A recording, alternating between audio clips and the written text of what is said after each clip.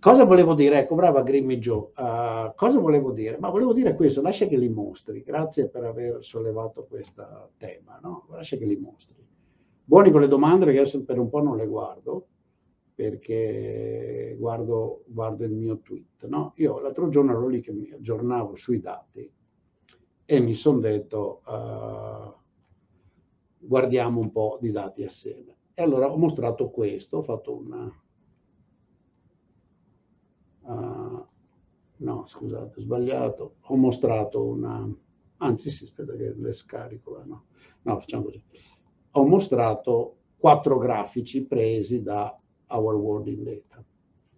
Allora ho preso solo sei paesi, perché ho preso sei paesi? Ho preso sei paesi perché altrimenti uh, il grafico diventava confuso. Francamente se ne possono trovare tantissimi esempi simili. Ovviamente in uno deve essere l'Italia, quindi ho preso l'Italia e la Francia. Come vedete, l'Italia e la Francia, perché parto da qua? Perché queste sono le politiche e volevo fare un'analisi nel tempo causale a partire da una situazione di relativa tranquillità. Quindi, come vedete, queste sono le politiche di stringersi adottate, vediamo, lo rendo un po' più grande questo grave, coso, adottate nella, uh, a partire dal, dal 15 luglio del 21. Quindi praticamente questi sono gli ultimi, se volete, uh, cinque mesi. Ok? Allora avete tre gruppi di paesi, più o meno approssimativamente. No? Avete l'Italia e la Francia, sono due paesi grandi, molto simili, con governi simili, atteggiamenti simili, e che erano tranquilli, diciamo, in luglio, poi si sono allarmati. Prima la Francia, a metà agosto, è andata molto su di stringersi, da lì è rimasta costante e alta, e poi l'Italia progressivamente è andata progressivamente stringendo fino a quando ha stretto ai livelli attuali a fine ottobre. Okay? Poi avete due paesi a basso livello di stringersi, di chiusure, okay?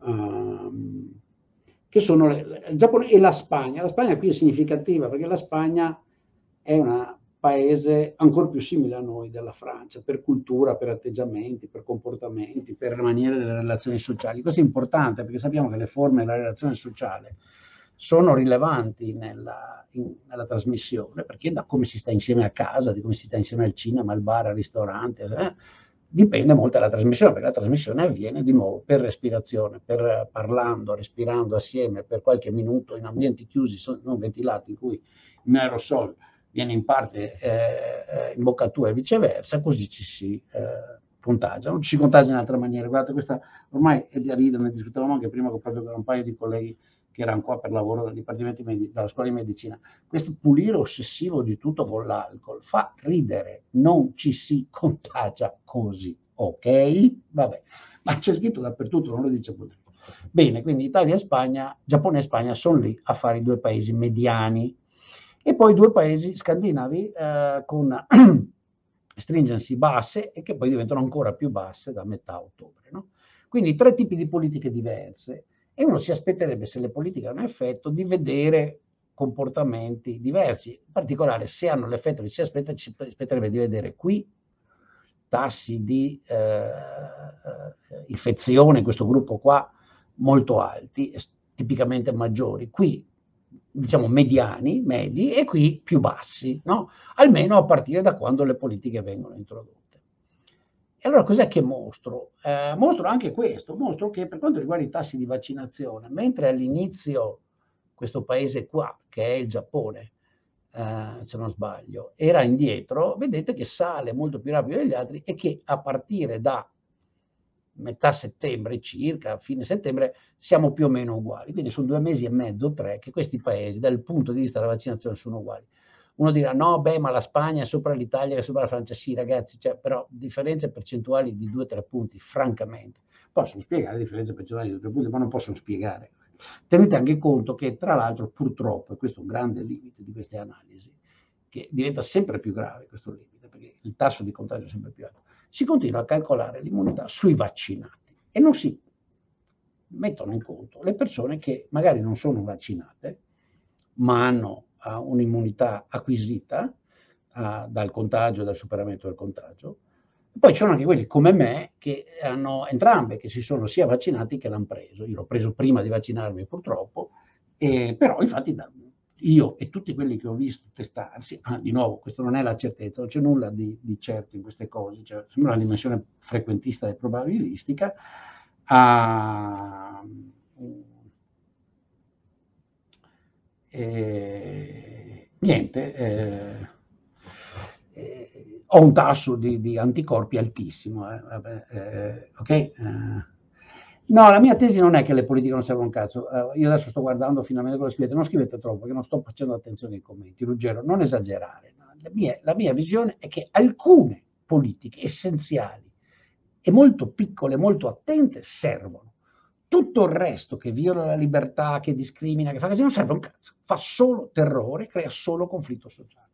Io praticamente l'ho detto dal giorno uno, anche su, mi ricordo, il primo che me l'ha fatto osservare quando importante fosse è stato professor Stefano Merigliano, uh, Dean, uh, adesso stia andando finalmente in pensione dopo tanti anni di lavoro, Dean direttore della scuola di medicina dell'Università di Padova e grande chirurgo e professore di medicina. Quale mi dice, guarda Michele, è ovvio che in ambienti chiusi occorre tenere la mascherina, in ambienti chiusi è bene starci poco. Lo diceva a marzo del 2020, un anno, più di un anno e mezzo fa, è bene starci poco, non è bene stare in ambienti chiusi con tanta gente attorno per periodi lunghi, perché eh, ovviamente ci si sta alitando addosso e ce lo si passa, è bene aerare, eccetera, eccetera. A quel tempo si pensava che anche la pulizia servisse perché l'evidenza empirica non c'era, poi è arrivata e diceva è bene anche lavarsi le mani, ma quello lo facciamo. Comunque, accentuiamo il numero di volte che ci laviamo le mani, magari disinfettiamo ambienti dove passano molte persone. Questo è molto utile, stare all'aperto è molto utile, e se sei una persona ammalata, debole, diabetica, grassa, eccetera, eccetera, di una certa età, si riferiva a lui e a me, ce lo siamo presi tutti e due, lui prima di me. Quando ha finito lui ho cominciato io, tant'è che mi ha curato a telefono, mi ha seguito al telefono, è stato molto divertente, misurava le mie fasi, dice no, sei più o meno come, quel giorno è il sesto, sì, come me, eh, andiamo bene. Però io dopo sono andato in ospedale, lui no, eh, lui ha fatto tutto a casa, più bravo di me, eh, anche se aveva due anni di più. Eh, ecco, questa era la cosa. Quindi queste politiche, io sono assolutamente dell'opinione che vadano attuate e di conseguenza le restrizioni su discoteche e posti del genere, io le trovate ragionevoli. Tutto il resto che non ho trovato già, in particolare la chiusura delle scuole, i, i lockdown totali, le limitazioni agli orari de, de, de, del, del del commercio, mentre sarebbe dovuto aprirlo 24 ore, a distribuire, evitare addensamenti, eccetera, eccetera. E poi per non parlare della chiusura dei parchi, la chiusura dei campi da sci e il coprifuoco, cioè mancava solo la ghigliottina. Cioè, certo. okay? Quindi questo è il punto. E secondo me questi dati lo provano. Comunque, eh, lasciatemi andare avanti. Vedete, cosa mostra questo? Questo mostra che i livelli di vaccinazione, perlomeno a partire da settembre, sono molto simili. Ok? Molto simili. Mostra anche che la Spagna è tremendamente sopra dell'Italia, ok? Da sempre, nonostante non abbia il Green Pass. Non solo, mostra anche, se seguite, potete andarvela a cercare, la linea, la linea italiana, vi rendete conto che l'effetto Green Pass nella tassa di vaccinazione non c'è, perché il Green Pass viene introdotto qui, ok? E vedete che la curva italiana continua a rallentare, poi si accenta, poi si alza un po'. Ecco, forse c'è un piccolo effetto invernale qua, a, quando è stato reso obbligatorio luoghi di, su, alcuni, su un tot di luoghi di lavoro. Se c'è un effetto è qua, ok? Ma niente altro che quello. Quindi quelli che teorizzano che il Green Pass ha fatto, che a causa del Green Pass che abbiamo un tasso di vaccinazione alto, si sbagliano. E la Spagna non è l'unico paese che ha un tasso di vaccinazione maggiore del nostro, ce ne sono altri. Ok? E quindi anche lì, quindi tutti i paesi senza, senza il tipo di Green Pass italiano. Uh, bene, allora, dato questo, quindi date le policy, data la copertura, ok? Uh, uh, cosa ho fatto? Sono andato, com'è che non viene l'altra figura? Scusatemi. Uh, ah, ecco qua. Sono andato a vedere i casi. Allora, guardate i casi. Guardando i casi è interessante perché si vede, guardate, perché ho scelto lo stesso arco temporale. Allora, vedete che c'è una grande ondata spagnola, ok? Che è la maggiore, e una grande ondata francese. Quindi praticamente nello stesso periodo avete due paesi, questo è tutto per milioni di persone, quindi la dimensione paese. Avete due paesi, uno che ha livello di protezione medio, uno a livello di protezione alto, che hanno ondate simili, d'accordo? Mentre avete quelli a livello di protezione basso, cioè la Svezia, eccola qui, in quel periodo, guardate la Svezia qua è bassissima durante tutta l'estate, ok? E poi qui invece avete, dov'è il Giappone? Il Giappone ha una sua tutta piccola ondata qua, piccola rispetto alle nostre, no? Questa è quella italiana, ok? Diciamo di tarda estate, di tarda estate. E se le notate sono abbastanza in simultanea, abbastanza in simultanea, mentre è fuori fase, diciamo così, quella svedese che è piccola e viene. D'accordo? Poi tutte quante calano, ok? Uh, e, e, quindi anzitutto è violata, c'è una forma di similarità, nonostante le politiche diverse, i tassi di vaccinazione diversi, e però c'è un'inversione o una non correlazione con l'ordine che uno si aspetterebbe. Ora notate che io non sto dicendo che più restrittiva la policy hai, più hai infezioni e meno restrittiva ce l'hai, meno infezioni hai. Sto dicendo che ha pochissimo impatto quelle restrizioni, che solo le restrizioni che contano rispetto a mascherine, lo chiusi, eccetera, hanno impatto. Tutte le altre non lo hanno. Quindi il fatto di avere un indice molto alto, vuol dire che hai aggiunto restrizioni e obblighi che hanno zero impatto, vuol dire solo che stai opprimendo, vessando, rompendo i coglioni, per dirla in italiano, i tuoi cittadini, senza nessun effetto. E queste qua, il verde, il rosso, il blu, il verde strano, il marroncino della, della Finlandia e il, il bluetto della, della Svezia, lo provano. Non c'è alcuna relazione fra le dimensioni di questa ondata e la stringenza. E lo stesso vale qua. Seconda ondata. C'è forse qualche relazione? Assolutamente no. Qua eh, siamo al ridicolo. Il Giappone ha dei tassi di infezione bassissimi, nonostante abbia politiche da, di, di, chiusura a metà livello, no? eh? simile a quelle della Spagna, che invece qua, la Svezia, che ha le più basse di tutte, è qua. La Finlandia, che ce le ha basse, ce l'ha alto, ma anche la Francia e l'Italia ce l'hanno alta l'infezione, nonostante abbiano politiche di chiusura altissime. Quindi fra i, i tre grandi in questo momento, con grandi tassi di infezione per milione, abbiamo due con una, le politiche di chiusura e di restrizione più, più, più, forti e una di quelle basse. Quindi capite di nuovo, non c'è correlazione. Occhio che non sto assumendo, occhio che qualche cretino non vada in giro a dire Boldrini dice che fa solo danno, che la correlazione è negativa. No, dico non c'è correlazione, che è quello il punto che la grande maggioranza di restrizioni politiche, terrori, warning e altri impedimenti alla vita normale che vengono introdotti non servono a un cazzo, mentre servono quelli che guarda caso il Giappone ha e la Svezia ha. Ok? Cioè fare attenzione all'ovvio, d'accordo? Quali motivi? Propaganda elettorale, oltre che per questo ci discutiamo. E lo stesso, eh, finalmente poi ha messo i morti. E i morti vi raccontano la stessa storia, ok? vi raccontano la stessa storia, oltre a raccontarvi questa anomalia francese, questa sì, no scusate, questa, ah cazzo, ho fatto casino, ma comunque è la stessa storia. Uh, chiedo scusa, ho letto, ho spostato le due cose, quelle di prima erano i morti, ok? Vabbè, stessa roba, quindi i morti vi raccontano questa storia qua, i casi vi raccontano esattamente la stessa storia. Qui vedete la grande ondata spagnola, analoga a quella dei morti, la grande ondata francese, quella uh, eh, giapponese, eccetera, eccetera. Quindi uh, questi sono i casi. E di nuovo vedete questa cosa qua, cioè la Francia, qui sì, è anomala. La Francia è anomala perché se guardate la mortalità francese in questo caso e guardate come sta in termini di casi, in termini di casi sta nel pacco, sta nel gruppo, no? con Italia e Finlandia. In termini di morti sta completamente fuori. In termini di restrizioni sta completamente come l'Italia, quindi è molto forte, e in termini di vaccinazione sta un pelino sotto dell'Italia, ma è più alta sia della Svezia che del Giappone che della Finlandia, quindi, e, lo è da tempo, quindi non riusciamo, non è che questo qua, questo richiede, ecco, questo tipo di dato qua, se qualcuno lo sa, questo richiederebbe un case study, no? Uh, arrivano l'altro giorno i dati, questo, arrivano al giorno che ho fatto questo tweet, due giorni fa l'8 dicembre probabilmente. Vedo lì 7, sarà forse 7, sono 7 e l'8, ok? I dati sono recentissimi, cambia niente sicuramente negli ultimi due giorni, ok? La Francia ha tantissime... Sì, Federico, è la stessa roba, ho semplicemente invertito, ma raccontano la stessa storia. Questo è l'ondata dei casi. Oh, madonna, avete ragione. Avendo invertito, uh, avete ragione. avete ragione, avete ragione, ho invertito, ho invertito, ho invertito. Uh, comunque, ri, ri, ricomincio. Questi sono i casi. E come vedete, la Francia ne ha tantissime, nonostante non abbia una politica di restrizioni come l'Italia, abbia un vaccino come l'Italia. Nel gruppo di mezzo ci sono quattro paesi, queste ha restrizioni medie, queste restrizioni alte, questi due hanno restrizioni basse e hanno casi per capita uguali, e poi c'è l'altro opposto, uh, bassi. Quindi se dovessimo prendere i due opposti, cioè i due estremi in questo momento, la Francia e il Giappone, cosa avremmo? Avremmo che un paese con restrizioni medio-basse ha pochissimi casi, un paese con restrizioni molto forti ha tantissimi casi. Nel gruppo di mezzo, che è probabilmente il gruppo più rappresentativo, non è un outlier in quel senso, abbiamo un mischiotto.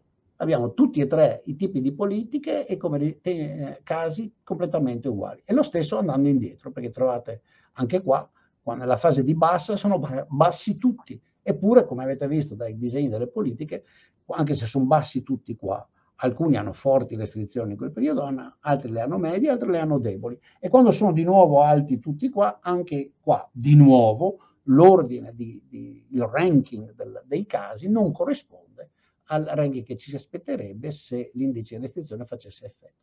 Questo stesso ragionamento vale anche per i morti. Nei morti c'è più rumore, c'è più oscillazione, che secondo me ha a che fare anche con il reporting, ma una che sberle che mi sono fatto dato per punirmi. Vedete, io quando sbaglio non mi piace per niente sbagliare, infatti per quello sto attento a non dire cazzate. Grazie di avermelo detto, eh? vi ringrazio per davvero, stavo dicendo, non che cambi l'argomento, ma stavo parlando di morti invece di parlare di casi e di casi invece di parlare di morti. Ok?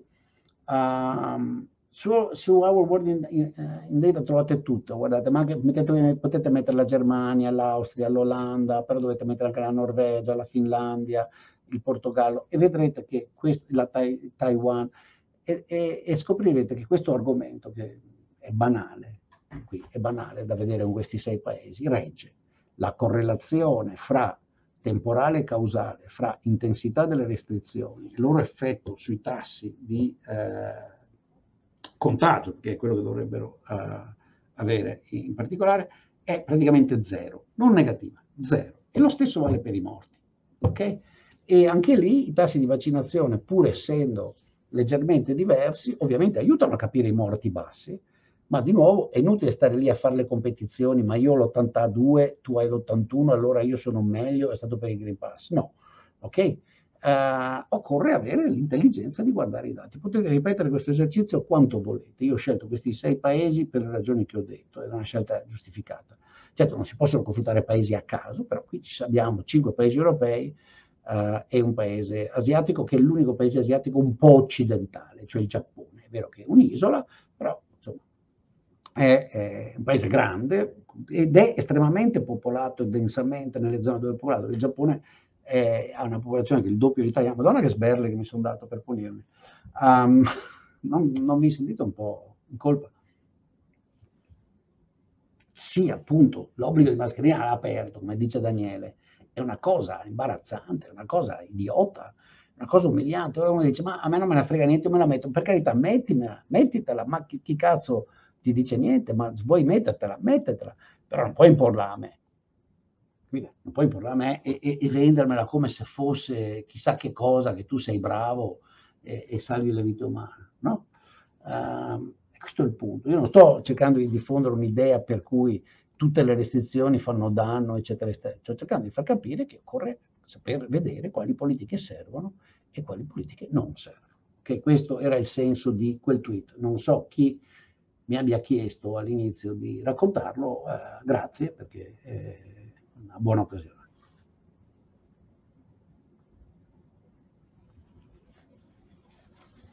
Antogio 88, Argentina e Brasile mostrano cose simili. Sì, esatto, ma l'Argentina e il Perù hanno ottenuto livelli di uh, lockdown, come li chiamiamo, di restrizioni altissime, con effetti disastrosi. Il Perù, che ha tutto un lockdown mostruoso, ha, ha credo i tassi di mortalità peggiori del mondo, in assoluto i peggiori del mondo. Certo, paese povero, tutto quello che volete, no? Uh,